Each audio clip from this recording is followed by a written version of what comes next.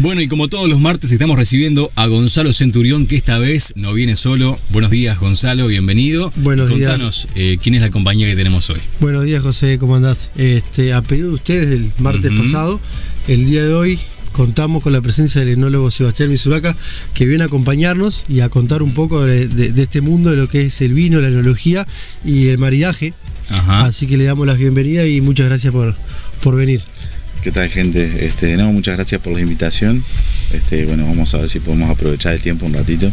Así es. Nada, este, lamentablemente José, este, Leo hoy no pudo venir, así que él se lo pierde. ¿Qué se, lo, qué va a Se lo pierde. ¿Qué se va a hacer? ¿Qué se va a hacer? Pero no, la columna del día de hoy más o menos va, va- vamos a contar un poco de lo que es este todo este mundo del vino y el maridaje. Por eso trajimos a, a Sebastián de Bodegas. Misuraca, que nada, él nos va a estar contando un poco todo el proceso que tiene el vino, este, y después hablar un poco también este, y degustar, obviamente es uno de sus Sí, vinos. porque no vinieron solos. Ahí arriba de la mesa estamos viendo, tenemos una, una tabla de fiambres espectacular y los vinos Misuraca eh, para combinarlos. Y nos van a explicar por qué justamente Así es. este, se pueden combinar entre sí. Esa es la idea. Igual de, de todas maneras, este, este es un trabajo más de un sommelier, que es, es el más especializado a la hora de combinar qué tipo de vino con qué tipo de preparación. ¿Qué es el sommelier? El sommelier es el que a la hora vos a un restaurante elegís tu plato de comida, o sea, que, que vas a comer. Y el sommelier lo que hace es intentar combinar con los vinos que tiene en su cata ese restaurante, qué tipo de vino va mejor acompañado con la preparación que tú elegiste. Este es el trabajo del sommelier prácticamente, básicamente vamos a decir. Este, no ¿El sommelier está emparentado, digamos, con la profesión del enólogo o es un enólogo especializado? ¿Cómo es? Capaz que vos ahí... Eh, no, bueno, el enólogo está, está más orientado a lo que es la, la producción de la uva, ¿verdad? Para la elaboración de vino. El sommelier es un especialista en el servicio, más que nada. Bien. Justamente. Que abarca eh, también otro tipo de bebidas, me imagino. Además, sí, sí, Ujú. por supuesto, tiene, tiene que tener un conocimiento profundo de los platos, tiene que, justamente cuando, incluso cuando se arma la, antes del servicio, cuando arma- se arma la carta en un, en un restaurante, o sea, el sommelier tiene que tener participación, ¿verdad? Porque tiene, es el que tiene que ver, de acuerdo a los platos que tenemos, cómo vamos a armar, armar la carta de vino. Em, nosotros estamos más orientados, como digo, a lo que es la producción de la uva, eh, que inclusive siempre decimos que empezamos a hacer el vino en el viñedo, ¿verdad? Eh, porque es donde se toman las decisiones que van a pautar lo que luego va a ser nuestro producto final. Y, bueno, hoy trajimos un... Ahora Gonzalo les va a cortar por qué, pero elegimos para, para lo que para el menú que tenemos hoy, esta tabla de fiambres y quesos. Este trajimos un merlot eh, tinto que es cosecha 2017 del año pasado, que es un vino que todavía es joven, ¿verdad? Para un vino tinto, eh, si hablamos de uno o dos años, estamos hablando que es un vino para consumo, consumo en fresco, eh, consumo los primeros dos años. Y por eso lo tapamos además eh, con un sistema novedoso y que se adapta muy bien para este tipo de vinos que uno no pretende que se envejezcan, que es el, el tema del screw cap, ¿verdad? Eh. Eh, la tapita rosca. Bueno, que el vino le asegura al vino un ambiente reductor, lo contrario lo que sería un tapón de corcho que permite cierta oxidación, ¿verdad? Y nosotros, eh, bueno, en el correr de, de este lapso de consumo sabemos que el vino va a estar tal cual lo envasamos. O sea, es una etapa que no permite evolución en el vino. Bien. Que en otro tipo de vinos, ¿verdad? Uno eh, expresamente buscaría que evolucione en botella. Bueno, esto no. Estos vinos queremos que se, de, de tal cual este- estén tal cual el día que lo envasamos. Claro, hay quizá algunos mitos referentes al tiempo que pasa el vino eh, en determinados lugares. Por ejemplo, en la botella de vidrio, ¿se produce el añejamiento famoso o no? es lo que viene por el lado que, que- de lo que venía explicando. El vidrio es un, eh, obviamente es un material totalmente hermético y con este sistema de tapado sigue siendo totalmente hermético. Con un tapón de corcho, que es un elemento biológico, ¿verdad? Ujú. este, permite cierto intercambio ¿verdad? De oxígeno con el exterior. Es muy, Bien. es muy lento, lleva, lleva años, pero la, la evolución por el tiempo se da con un tapón de corcho. Una pregunta también, pero yo de, de ignorante en el mundo de, de esto de los vinos. La diferencia que tienen la- los colores de botella, obviamente, debe ser por, por la oxidación de la luz, ¿no? Es que, que cambia de un vino tinto a un vino blanco, por ejemplo. Debe ser por la cantidad de taninos. Supongo yo que los taninos se oxidan mucho más que en un vino blanco, o no es por eso. Es verdad, un vino, o sea, son radical, son los vinos radicalmente opuestos, ¿verdad? Un vino blanco, un vino tinto, estamos hablando De prácticamente agua y aceite. Claro. El soporte para que un vino pueda envejecer justamente son los taninos y los antocianos. Los, tani- los taninos son básicamente los que dan esa, esa potencia de boca, ¿verdad? Claro. Eso que nos da el cuerpo, este, la sensación de aspereza inclusive. Decir, eh, vamos a estar conversando un poquito de los taninos y Ahí. por el tipo de, la- de las A mí se me preparaciones. ocurre preguntar qué son los taninos, ¿no? Porque pi- pienso, pienso en, en una especie de, de- de, no sé, de bichitos. Eh, no, no. La- los taninos son compuestos de la familia de los polifenoles, ¿verdad? Que es una, familia amplia, en, la eh, en los cuales los vinos son de las eh, la bebida seguramente más rica, seguramente eh, más rica en estos componentes, ¿verdad? Este, polifenoles incluye eh, una familia más o menos grande de, de compuestos vegetales, eh, que justamente en los vinos están más pautados por los principales son los taninos, dentro de los polifenoles, ¿no? Eh, los taninos y los antocianos. Taninos, los responsables más que nada de, de las sensaciones de boca, que son los que reaccionan con la saliva, ¿verdad? Nuestra saliva tiene carga positiva. Cuando eh, tomamos Sí. un vino con muchos taninos, hace muchos años, le decíamos que era un vino lija, porque Ajá. los taninos reaccionan y uno siente algo como sólido dentro de la boca, ¿verdad? De Reacciona. ahí viene el dicho entonces. Ahí va. El vino tiene que tener taninos, el vino tinto, porque nosotros si lo, si lo degustásemos con los ojos cerrados tendríamos que saber que es un vino blanco, es un vino tinto, aunque no viésemos el color, ¿verdad? Porque las sensaciones de boca son totalmente diferentes. Ujú. Y, bueno, y la, y la otra y el otro gran grupo dentro de los polifenoles son los antocianos, que es lo que lo que da los colores intensos, ¿verdad? En este tipo de vino. Y hay más, pero no es que los blancos no tengan polifenoles, pero sí tienen cantidades mínimas. ¿no? Igual eso es intencionado, me imagino, ¿no? Hoy en día se podrá controlar eh, más el sabor de lo que quizás se hacía antes, ¿no? Hay una diferencia, hay una diferencia grande, y siempre hablando de estas dos, de estos dos grandes grupos de vinos tintos y blancos, que en durante la elaboración nosotros los vinos tintos los maceramos con la fermentación alcohólica, Ujú. o sea, los jugos en contacto con las cáscaras, ¿verdad? Con las Te iba a cáscaras y preguntar las eso. semillas. Los taninos se encuentran en la cáscara de la uva. Exactamente, exactamente. Ahí Entonces, esa es la gran diferencia, ¿no? Que nosotros cuando hacemos la fermentación, que incluye una maceración, ¿no?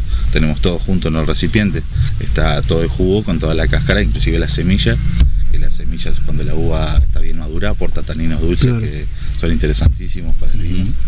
Y un vino blanco es totalmente lo contrario, ¿verdad? Nosotros hacemos la hacemos el proceso de la uva y extraemos inmediatamente el jugo para que fermente lejos de las cáscaras, ¿verdad? Más allá de que, por supuesto, para los tintos son variedades tintas y para los Claro. son variedades de uvas blancas. Bien. Este, más o menos nos estaba explicando un poco los procesos de, de la creación del vino. Y nada, por la parte más de, de- la combinación con las comidas, lo importante es lo que él dice de los taninos. Este, nosotros cuando, por ejemplo, eh, cómo elegir qué tipo de vino para qué tipo de preparación. Este, se dice que los vinos tintos van bien con las carnes y que los vinos blancos van bien con los mariscos o ensaladas y cosas. Pero ¿por qué pasa eso? Este, es, es por dos grandes cosas. Es por la cantidad de materia grasa que tengan las comidas. Ajá. Este, un vino tinto, un Malbec, por ejemplo, va bien con, con un cordero, porque el cordero tiene mucha grasa, entonces necesitamos un vino que sea de carácter fuerte, este, que tenga con. Sí, Que- sí, que- un Malbec, un Malbec, un Tanat, ¿no? No, un Tanat. uruguayo. ¿Qué es lo que hace ahí? ¿Opaca, digamos, esa, esa No, sensación o ese gusto a grasa o cómo es? Claro, es como que eh, enjuaga nuestra boca. Nosotros comemos un pedazo de cordero y nos queda el paladar con grasa. Lo que hacen los taninos es a limpiar, a enjuagar la boca. E- Eso es el maridaje, por eso este, se dice que los tintos van con las grasas, o sea, con las carnes, este, según si tenemos una preparación de olla, por ejemplo, que contenga eh, mucha grasa o, o mucha carne, vamos a ir más fuerte. Si tenemos una carne más suave, capaz que no, no un tanat, pero sí otra variedad de vino que Sebastián nos puede decir, qué tipo de variedad puede ir con ese tipo de carne. Es, es- es jugar también, que eso es lo que hace el sommelier, es jugar con las preparaciones, que el chef, por ejemplo, le arme la carta, jugar, bueno, tengo estos vinos, ¿qué tipo de preparación podemos hacer? Este, porque también los vinos blancos, como decía, no tienen tanta cantidad de taninos, por lo tanto tienen que ir con una preparación que no tenga tanta grasa, que pescados, ensaladas, mariscos, es prácticamente va por ese lado. Con los quesos, ¿qué pasa con los quesos? ¿Por qué traje una tabla de fiambre para con este vino? Por, do- por dos razones. Los quesos hay miles de variedades de quesos y todo se bien por la cantidad de grasa que tiene, que contiene. El tipo también por el tiempo de estación, tienes blandos, duros, semiduros, este queso más, más por- cuanto más blando sea el queso. Este, puede tener los quesos que son ya fermentados, como es el Roquefort o el queso Brie, que son quesos que ya se introducen bacterias, vamos a decir, para que creen ese tipo de, queso. Entonces, y los fiambres también hay fiambres más suaves, eh, con men- menos cantidad de grasas, con menos sabor. Entonces, los quesos y los fiambres son, es, un, es una buena preparación para combinar con este tipo de vino, sobre todo los vinos tintos o los. Bien. Sí, totalmente. Sí, yo creo que uno debería tender, eh, cuando hablamos de maridaje, deberíamos tender, porque el maridaje es casi un desafío, ¿verdad?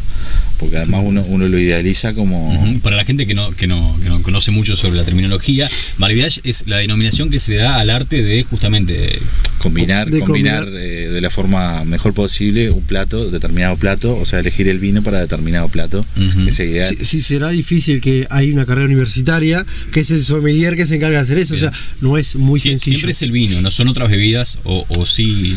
Sí, claro. Sí, sí, se Eh, puede. o sea, sí. uno trata, digamos, para nosotros lo que estamos en Yo esto. digo más a la terminología de lo que es específicamente el, el maridaje, ¿no?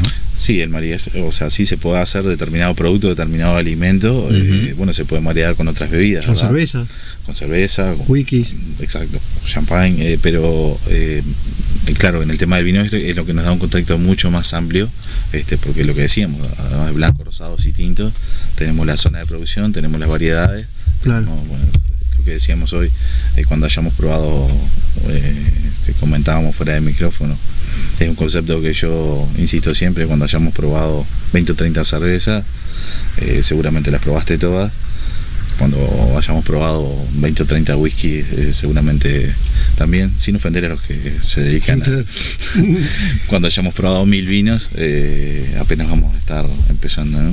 Eh, lo sostengo siempre porque estoy convencido de que Sí, sí, la variedad es infinita. además entre uno entre cuando uno más prueba eh, se- eh, entiende que sabe menos y le queda más, más por descubrir porque realmente uno, va a prueba y se sigue sorprendiendo de las cosas que puede dar el vino determinada uva en determinado ambiente. Pero a lo que veníamos con Gonzalo yo lo quería comentar rápidamente que el tema del maridaje es casi como una quimera porque seguramente nuestro vino ideal para determinado plato existe. Pero bueno quizá el amor eh, para toda la vida también exista pero hay que tener mucha suerte para encontrarlo hay ¿no? que encontrarlo, claro. Exactamente igual. Entonces, eh, ahora se está manejando mucho el concepto de armonización. Este. Entonces es un concepto un poquito más amplio.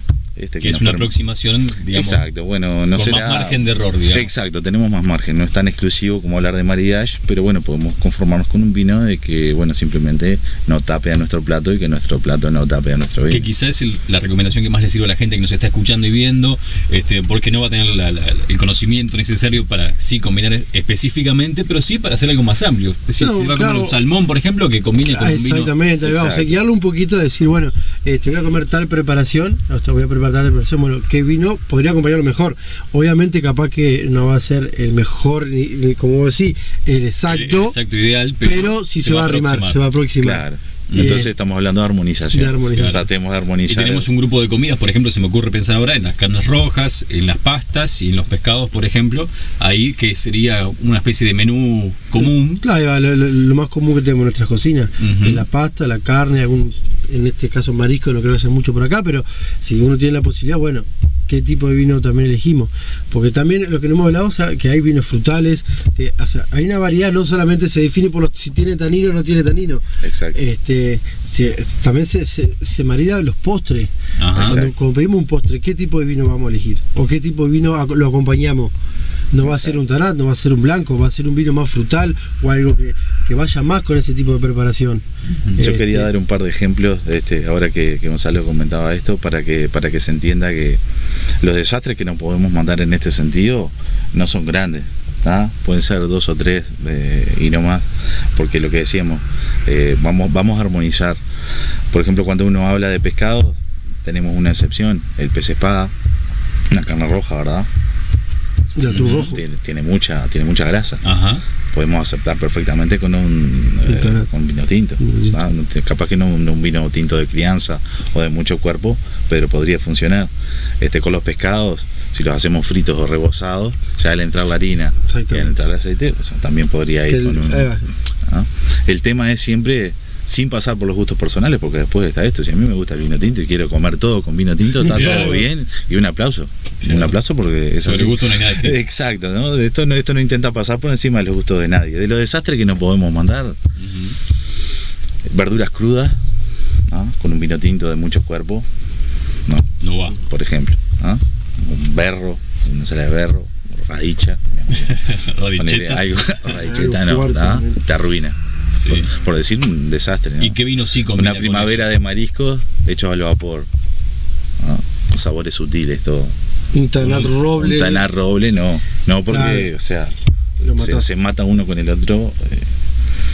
Sí, lo- entonces el error que cometemos ahí es, Para ir a los es estropear, digamos, este, el sabor de lo, de lo que estamos, Estamos sí, acompañando. Puede pasar lo contrario. Tengo un guiso de, de nada, un guiso súper condimentado, una buceca, y bueno, y, me, y traje un subiñón blanco. Ujú. Vino súper sutil, y nada, el vino no, no vas a sentir ni, ni nada. Claro, tal cual, tal cual. Claro. Después, una pregunta que tengo para hacerte, que sie- siempre uno agarra la etiqueta, ¿no? Va- va- Vamos a lo que la gente está en su casa, por ejemplo, en la noche, agarras una Sí, etiqueta hay- o en el súper. Sí, yo voy a agregar y- lo, del- lo del precio, aparte de la etiqueta. Porque la gente mira el precio y la etiqueta. No, que uno dice aromas frutales. Y dice, gente, pero ¿por qué aromas frutales? Que yo, por lo que he aprendido, va cambiando según la cosecha también, ¿no? Yo una vez probé un vino blanco que, que sea sabor a mango y no sé qué más, cosecha tanto. Después probaba el mismo vino, el mismo, de, otro, de otra cosecha, y cambiaba. Eso, porque por el tema del clima, de cómo creció la uva, Sí, da para, da para un programa entero, porque Ah, ah. Es, es un mundo tan, es lo que hablábamos recién, por eso digo, por eso hoy comentaba que cuando hayamos probado mil vinos, eh, vamos a estar arrancando recién. Porque lo que decíamos, inclusive este, esta botella que trajimos aquí, de la variedad Merlot, que el viñedo tiene unos 15 años. Y producida en una parcela X de, de la bodega de mi casa. El año que viene puede estar, no digo que va a ser diametralmente opuesto, opuesto pero puede ¿verdad? llegar a variar. pero puede llegar a cambiar y bastante, ¿no? Hay una serie de eso- variantes que influyen ahí que. es que la añada, la añada influye mucho, además todo hemos, lo, visto, eh, lo hemos visto aunque sea las películas, ¿no? Traeme el Ujú. Chateau Petrus del año 61, porque el de 67 No va. eso no va. Eso es Entonces, verdad, o sea, eso es verdad. Las horas de sol, aunque parezca mentira, las horas de sol, este, y básicamente es horas de sol y el régimen de temperatura, la amplitud térmica, que es la diferencia que tenemos de temperatura entre el día y la noche, eh, todo eso todos los años cambia, más acá en Uruguay. Eh, hay lugares que es más fácil, que el clima es más, es más, es más lineal, ¿verdad? Pero de cualquier manera la influencia de la añada es. Es todo el mundo. de los ¿no? vinos es tremenda. Sí, sí, sí. Y además a eso le sumamos variedad de uva, la mano que la trabaja, el criterio técnico. eh, Claro. Tenemos una, por eso Sí, decía, sí. es- es- Podemos hablar dos días con eso, ¿no? Sí, algo me hace pensar que justamente estas columnas este, van a tener que repetirse en algún momento En algún porque hay mucho para hablar. El tiempo se nos va y. Y para eh, mí tenemos que pasar a lo principal, José. y, yo estoy mirando la tabla con mucho cariño y más a esta hora. a esta hora Vamos todos. a aprovechar porque capaz que una vez algún mozo o alguien que está estudiando servicio de restaurante nos está mirando y hay algo que me gustaría enseñarle. Y también al, al comensal, ¿no? Cuando uno va a un restaurante y pide un vino, ¿cómo se lo sirve? Bien. Bien, este, por eso quiero enseñarle, me voy a parar porque Sí, me adelante, paro. adelante. Y como a la hora nosotros de elegir un vino, o sea, imaginemos que Sebastián eligió el Tanate este, yo mozo, voy lo traigo. Lo, que, lo correcto, ¿cuál se- ¿qué sería lo correcto? Es primero, antes de abrir el vino, mostrárselo para que nos dé el visto bueno. Obviamente, porque capaz que él nos pidió un vino y no es el vino, y ahí ya la, la embarramos y no hay vuelta atrás. Tenemos que traer el correcto, Bueno, yo quiero un Misuraka, un, un Merlot. un Merlot.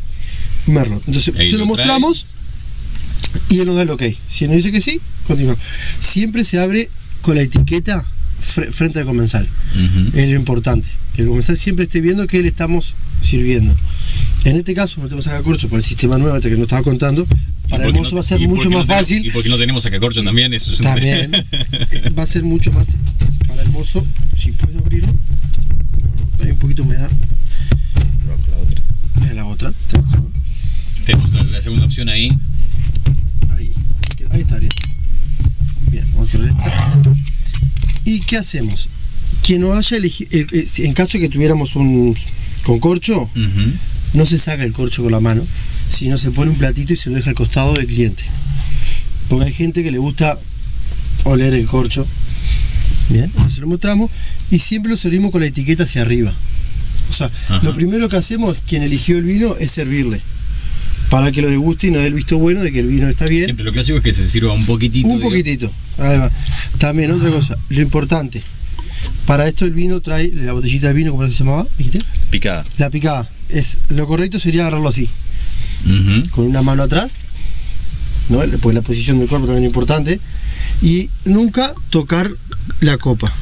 Y ahí lo estás agarrando, digamos, de, de- de la cola de la botella, digamos, Ah, ahí así. Ahí va la cola o picada para que La se entienda. sí, el- el- Claro, justamente, la, la terminología que, la gente y no lo entiende. nunca apoyar el pico en la copa En la del cliente. copa. Entonces esperamos que el cliente nos diga el ok y no le servimos a él. Seguimos, empezamos por las mujeres primero. O sea, por más que independiente el, hombre haya elegido el vino, es el último, o sea, quien eligió el vino y lo probó y nos dio visto bueno, es el último en volver a servirle. Bien. Sí. A no ser que esté el Papa sentado en la mesa, que porque es así. Sí. Si el Papa está sentado en la mesa, es el primero que hay que servirle sí o sí. Sí, las chances Es la de que única este regla. papa son, son medias difíciles, ¿no? Eh, lo que se hace habitualmente, permiso, ¿no? Eh, eh, lo vamos a mostrar un poquito más, más de cerca, a ver si lo si puedo. Ahí estoy agarrando mal la copa, lo sé, lo sé. Ahí va. Eh, ahí. Que tiene un montón de burbujitas a su alrededor, ¿no? Bueno, no, pero esas fueron generadas. Es un vino tranquilo, ¿verdad? No es Ajá. espumante. Es- las, las burbujitas se generaron al servirlo, pero no, Bien. no Y- representan nada más que eso. Y una cosa que, que sé de comensal es que eh, el- cuando agarran la copa, la sirven, eh, también lo, lo mueven un poco encima de la mesa con Sí. movimientos circulares. ¿Eso para qué es y por qué? Sí, para la Eh, degustación. disculpen, caballeros, me voy a sentar. Adelante. Ahí, ahí se ve perfecto. Sí, nosotros acá estamos ideal eh, porque justo con la mesa blanca, o si, si estuviésemos en un restaurante sobre una servilleta o sobre el plato, es donde mejor apreciamos el color de vino, ¿verdad? El color no puede tener defecto, y por defecto me refiero a que no brille o que esté velado, ¿verdad? El vino tiene que brillar. Salvo en algún caso algún vino que sea decantado, vinos de- de añadas muy viejas, bueno, se le puede permitir. Si el vino tuviese algún defecto en el color, podríamos descartarlo ya. Luego agitamos un poquito lo que vos decías, Bien. ¿verdad? porque el vino volatiliza, eh, desprende, desprende, ayudamos a que se desprendan los aromas, ¿verdad? Perdón, para eso existen los descantadores en los restaurantes, ¿no? Exacto, los decantadores, también se podría hacer otro programa entero sobre eso. Bien. Claro, porque es para vinos que tienen mucha evolución. En este caso es un vino Vino joven, probando, joven, joven. Exacto, es un vino No es joven. necesario. No es necesario en absoluto que. Entonces nada, ahí eh, testeamos con la nariz. Y acá lo mismo. Si no nos agrada o encontramos algún defecto, que los defectos grandes en un vino podrían ser olor terroso, o porque esté contaminado con mohos o con hongos, o si no, bueno, clásico olor a vinagre que se lo conocemos todos. Eso es lo que te iba a decir y te iba a preguntar. Un enólogo cuando, cuando eh, a- a- eh, huele una copa de vino, ¿qué, qué es lo que encuentra? ¿Qué- qué- a diferencia de la gente que quizás no sabe qué es todo lo que se puede encontrar allí cuando, cuando lo olfatea, digamos. Sí, sí, eh, por O sea, eso- obviamente que depende del vino, ¿no? Pero, yendo, yendo por pasos, eh, eh, lo que decía, primero que no que haya ausencia de defectos, ¿verdad? O sea, que, que no haya ninguno de estos dos grandes o algún otro que, bueno, o- o- obviamente que aromas extraños tampoco, no llega a tener olor a eh, algún otro tipo de contaminación, no sé, como, no sé, combustible, lo que sea. sí, sí, sí. Ya el vino no merece que, que llegara a la boca, ¿no? Entonces, por, por lo menos una vez hay que, hay que testarlo con la nariz. Ahora, el universo de, el universo de aromas que encontramos en, en los vinos es amplísimo. Yo voy a hablar de este vino que estamos abriendo Bien. que estamos, que estamos degustando. Que recordamos ahora. que es el Merlot tinto. Es un Merlot Tinto 2017.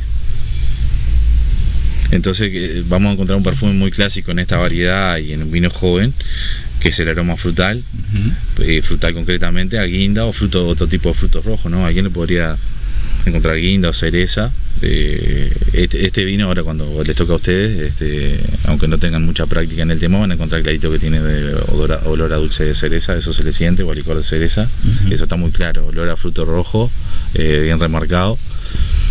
Puede, eh, puede tener algún dejo de té, olor a un especiado a té muy suavecito. Eh, y básicamente es eso, porque podríamos seguir hablando, eh, algunos Claro. con, con la nariz más, más entrenada que... No es que la mía, eh, Pero- mi nariz está más orientada hacia los defectos que hacia, hacer, hacia la cata descriptiva, que es lo que me preguntaste. Bien. ¿Qué tanto le encuentro a este vino? Bueno, para mí las dos notas sobresalientes son frutos rojos y té. Y te- ¿no? Si viene otro, puedo encontrar tres notas más. Yo creo que con todo esto que nos está contando, quien esté en su casa, nos esté mirando y ya escuchando, fue a comprar un Merlot tinto de mi Sí, ciudad acá yo creo ya, lo que está, sí. ya lo está probando. pero sobre todo capaz que está aprendiendo a hablar en un restaurante, porque hay mucha gente que va a un restaurante y, y el mozo le hace eso y no, ti- y no tiene ni idea. O sea, yo, yo creo que pasa, Hay un universo amplísimo a conocer realmente, ¿eh? yo creo que por lo menos la base chiquita para empezar a, a, a me- a meterse en, ese- en este mundo lo estamos dando ahora. Para y gente no, y perdón que te corte, y No, después no. probamos para redondear el tema. eh, recordemos que el gusto que, entre comillas, lo que nuestra boca puede percibir, esa parte de la textura, obviamente lo que hablábamos hoy, la sensación en boca, si es envolvente, más cálido, más, o sea, después de lo, lo que se puede percibir en boca son cuatro, cuatro percepciones, Ajá. dulce, ácido, salado y amargo, nada más. ¿ah? Y esto lo sabemos todos porque el resto de los aromas que nos pautan el, o sea, el resto de las sensaciones están pautadas por el aroma. Claro. Todo lo sabemos bien todos porque todos hemos estado resfriados y cuando comemos nos sentimos, entre comillas, gusto a nada, ¿no? Y bueno, eso, eso Sí, pasa sí. con la pimienta, por ejemplo. Ya. Si a vos te tapa la nariz y te da pimienta blanca, Exacto. no vas a sentir nada. No. Te destapa la nariz y, Y, te y ahí, prende- y ahí empezás a te- te sentir. prende fuego. Tenemos los aromas acá, en la nariz, y tenemos los aromas por vía retronasal, que es cuando lo tenemos en la boca al vino. Exactamente. Bueno, y después la última pregunta, porque el tiempo se, se nos va. La temperatura del vino. Sí. Eh, el- el- ¿Ambiente o se, se refrigera? se- Ambiente depende de la temperatura del Claro. ambiente. No, vinos blancos y rosados 6 grados y los tintos dependiendo un poco del cuerpo puede ser fresco 13 grados, 12, 13 grados para un vino de este tipo y puede llegar hasta los 16, 18 para vino de mucho cuerpo de crianza, ¿verdad? Hay refrigeradores exclusivos que están eh, Sí. diseñados para eso, Sí, ¿no? sí, sí. O sea, pocas veces vamos hasta la temperatura ambiente va a ser la ideal para Claro. algún vino. Por eso, Y para la gente común en su casa que tiene, digamos, la heladera, tiene eh, ¿cómo hace para hallarle una temperatura? No sé si la ideal, pero por lo menos una temperatura aproximada al vino. ¿es, co- es conveniente refrigerarlo un poco, por ejemplo, y después tomarlo? Mira, yo te diría que ahora en estos dos meses que, que venimos, adentro de una casa que debe haber 12, 14 grados, ¿ah? no en el dormitorio que capaz que tenés el aire A 30. ¿ah? pero 12, 14 grados para un vino joven, así un tinto joven, está Está bien. perfecto. En estos dos meses es temperatura ambiente, pero no confundamos que un vino se toma a temperatura ambiente. En no, enero. no, rara vez, Claro. no, rara vez. Es rara por vez. eso que las Y bodegas. si- hielo, obviamente que no. Si, si te gusta con hielo, bueno. No, es lo mismo que le echa es- coca al vino también. Uno no quiere pasar sobre gustos personales, si querés hacerte un cóctel acá y echarle No, pero mucha gente, pero, mucha, Claro. pero mucha gente no sabe que quizá cuando le agrega hielo, que lo hace por una cuestión de temperatura, en realidad también está eh, disminuyendo la intensidad de su sabor. Me imagino, ¿no? Que lo está diluyendo, ¿no? Es- es- es- verdad, es verdad, pero tampoco tampoco está tan mal. O sea, si te gusta, inclusive digo, y lo digo, lo digo cortito, a un whisky hay que echarle hielo o agua, porque si no le echas hielo o agua no, no volatiliza todos sus aromas. Un whisky, un whisky tenés que esperar que, para degustarlo, Claro. tenés que esperar que, que baje la cantidad de alcohol, porque si no, el alcohol es tan, es tan grande que no te deja percibir los Sí, aromas. sí. Dos cosas antes. Adelante. Primero, que hablaba de temperatura. Por eso creo que las cavas de vino son frías, ¿no? Por lo Claro, general, que cuando se guarda en una cava, son que las paredes heladas, que está- eh, debe ser por la temperatura del vino a la hora de, del, del añejamiento o de la- el- Lo ideal son unos 16 grados para, 16 para, el guardado, para la guarda, ¿verdad? Pero lo más importante sobre todo es que no haya fluctuaciones. Ah, ¿verdad? Claro, sea que no cambie la sea- temperatura. que sea constante. Que sea constante. sí. Después, y la última es lo del cuerpo del vino. Cuando uno hace así, y eso que, que- que queda es el cuerpo del vino, ¿no? Ay, ahí me arruinaste. Está difícil. No, pues, no, pero no, yo digo, ¿sabes por qué? Porque todo el mundo dice, pa, mirá la cantidad de alcohol que tiene este vino y lo bate así y ve que El cae. alcohol está relacionado, yo no sé si acá se ve, el alcohol sí se puede relacionar con el largo y la cantidad de las lágrimas. Es, Ahora, ah, es, eso es lo que las yo lágrimas, no, el cuerpo del vino no. No, ta, que esto es difícil que, la, eh, que, la se vea, pero ¿verdad? Sí. Viste que uno por lo general cuando lo ves Son para qué esas cantidad de gotitas alcohol que transparentes tiene. que, empiezan a que empiezan a descender, que Ah, son, bien. son transparentes, ¿verdad? Claro, no se ve No, por no eso tienen mismo. el color. No tiene mucho que ver con el cuerpo, sí con el alcohol. Todo Ah. que ver con el alcohol. ¿Esas gotitas entonces de qué son? ¿De alcohol o de.? Ah, se llaman lágrimas y la explicación física de este fenómeno es tremenda en serio. ¿tá? Pero sí te puedo decir que cuanto más largas y más abundantes, más alcohol de vino. sí. Bien. Yo Eso sí. voy a ir sirviendo para así degustamos, José. Este, no sé cómo va a terminar este programa, pero bueno. eh, yo lamento mucho por Leonardo que hoy no, no nos está acompañando, eh, pero lo cierto es que tenemos un- una espectacular picada acá y un espectacular vino para, para este, acompañarla. Eh, bueno, seguirán posiblemente, Gonzalo. Exactamente, como dijo, es un mundo por descubrir que da para mucho más y, y podemos seguir conversando y que la gente siga aprendiendo también, que la idea de esta columna, aparte de conocer y, y que la gente se, se interese, es aprender. Así que bueno, este, nosotros ahora, ustedes van a una tanda y nosotros nos vamos a quedar Nosotros acá nos vamos a quedar degustando. de fiesta. Agradecemos mucho a la gente de, de Misuraca, al compañero Emi, ¿verdad? Que no, que no habló. eh, Franco. eh, Franco. Franco Emi, sí, Franco Emi. Franco. No, porque hoy, hoy le dijiste Emi, por eso me, me, me quedó. Por eso es cariñoso entre padre e hijo. Bien, bien. No, porque yo con los nombres soy medio malo, no sé No, si te habrás dado cuenta. Este, Franco nos va a ayudar con la picada seguro. Sí, Sí, muy sí. bien. Bueno, y agradecerte, Gonzalo, como siempre, por eh, enseñarnos y desasnarnos de todas estas cuestiones que a veces somos un poco ignorantes, ¿no? Este, No, hasta mismo yo acabo de ser ignorante en este mundo del vino, o sea, pues digo, no es mi rubro, algo conozco, algo estudié, algo aprendí, pero es básico, por eso trajimos a Sebastián ¿no? para que me enseñara un poco más. Bueno, muy bien. Y eh, entonces con esta picada ideal compartimos eh, el, el vino. Eh, si quieren probar alguna picada buena, se pueden ir a Fortunata. Exactamente, todos los sábados. Allí tía Marta les, les ofrece unas picadas espectaculares. Y no sé si hay vino Misuraca en Fortunata, pero si no hay, tiene que haber. Tiene que haber, vamos a tener que sí. intentar conseguir hablar con Sebastián para ver si podemos llevar. Pero muy bien. Bueno, gracias, Sebastián, por acompañarnos. No, ha sido un placer. Gracias a ustedes. Bueno, gracias, Gonzalo, y nos encontramos en siete días. Exactamente.